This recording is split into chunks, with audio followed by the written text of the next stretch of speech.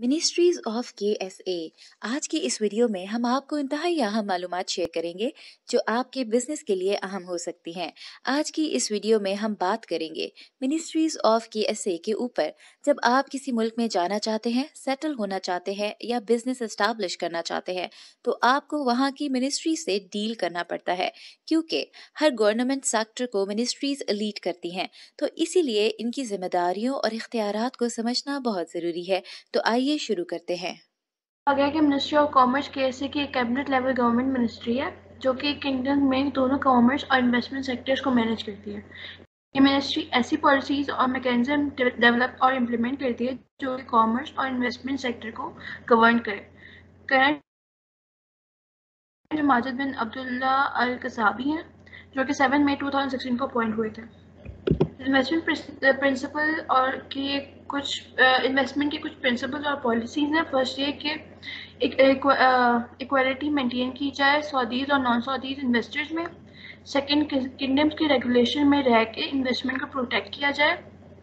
Third investment की sustainability enhance की जाए और इन्वेस्टर्स की कंप्लेंट्स ट्रांसपेरेंट ट्रांसपेरेंट मैनर में की जाए। फुल ट्रांसपेरेंसी प्रोवाइड की जाए और सोशल स्टैंडर्ड्स मेंटेन की जाए।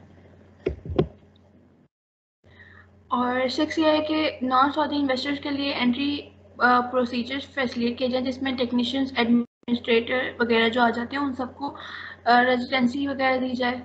फिर सीन साइंस और टेक्नोलॉजी को लोकलाइज किया जाए ताकि फॉरेन इन्वेस्टर ज़्यादा से ज़्यादा अट्रैक्ट हो किंगडम में। फिर आ जाता है हमारे पास कि हम इन्वेस्टमेंट को एक्टिवेट किस तरह कर सकते हैं, कैसे? में इन्वेस्टमेंट को बढ़ाने के लिए कुछ मेजर्स फॉलो किए जा रहे हैं किंगडम में। वो है फ़र्स्ट ये प्रोडक्शन मेथड लेटेस्ट स्टैंडर्ड्स के अकॉर्डिंगली हो सऊदी नेशनल्स को हायर और ट्रेन किया जाए। ऐसे इन्वेस्टमेंट ज़्यादा से ज़्यादा हो जो इकोनॉमिक ग्रोथ में हेल्प करे इन्वेस्टमेंट इन्वायरमेंट को भी इम्प्रूव किया जाए।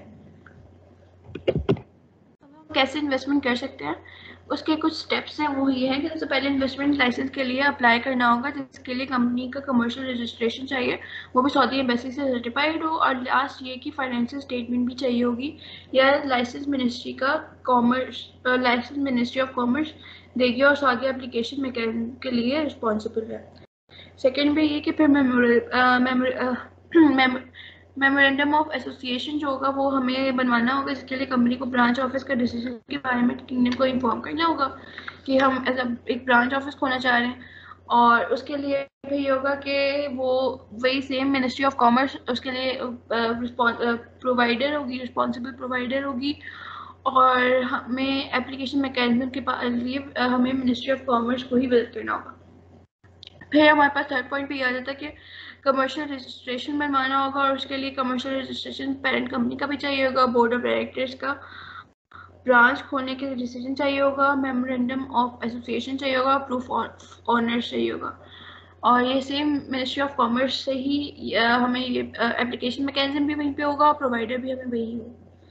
फिर फोर्थ पे हमारे पास आ जाती है कि बाकी जितनी भी फाइल्स होंगी जक़ात टैक्स की फाइल्स सऊदी मिनिस्ट्री की लेबर की सोशल डेवलपमेंट या जनरल ऑर्गेनाइजेशन वो सब कुछ हमें वो वो हमें बनवानी होंगी। और वहाँ पे ये सारी चीज़ें आप कह सकते हैं, अब ई सर्विस पोर्टल पे हैं तो हम वहाँ से भी करवा सकते हैं। फिर हमारे पास जनरल डायरेक्टर वीज़ा के लिए अप्लाई करना होगा और उसके लिए लेटर ऑफ़ अपॉइंटमेंट और जनरल डायरेक्टर की आईडी कार्ड भी चाहिए होगी।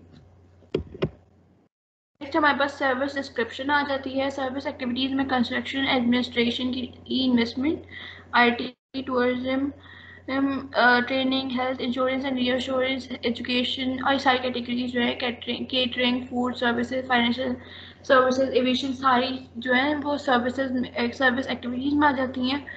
उसके बाद सर्विस की डॉक्यूमेंटेशन चाहिए कि हम किस तरह हम हम सर्विस को स्टार्ट कर सकते हैं। तो ये क्या मैं सबसे पहले चाहिए होगा पार्टनर्स की सऊदी एम्बेसी से सर्टिफाइड कमर्शियल रजिस्ट्रेशन की कॉपी आईडी कार्ड की कॉपी और सऊदी एम्बेसी से सर्टिफाइड लास्ट ईयर की फाइनेंशियल स्टेटमेंट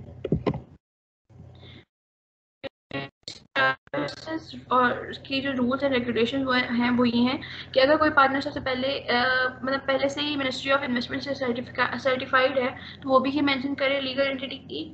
ही एंटिटी कंपनी हो और हेल्थ फैसिलिटी प्रोवाइडर्स प्रोवाइडर्स हैं तो हेल्थ ऑर्गेनाइजेशन से रिकगनाइज हो, अपनी कंट्री में तीन साल का एक्सपीरियंस हो। सर्विस फ़ीस आ जाती है कि एनुअली दो हज़ार रियाल जो है वो देनी होती हैं। पाँच साल तक और मिनिस्ट्री ऑफ़ इन्वेस्टमेंट से सर्विस लेने के लिए दस हज़ार रियाज देने होंगे और एक साल तक पहले दस हज़ार रियाज देने होंगे, फिर सब्सक्रिप्शन फ़ीस देनी होगी जो कि सिक्सटी थाउज़ेंड रियाज है।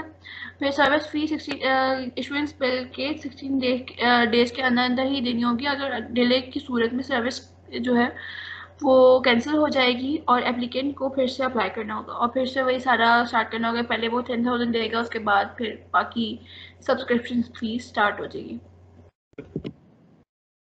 थैंक यू हमने इस वीडियो में इंतहाई अहम मालूम शेयर की हैं। इसके अलावा हम बिज़नेस कंसल्टेंसी और वर्चुअल सर्विसेज़ भी ऑफ़र करते हैं।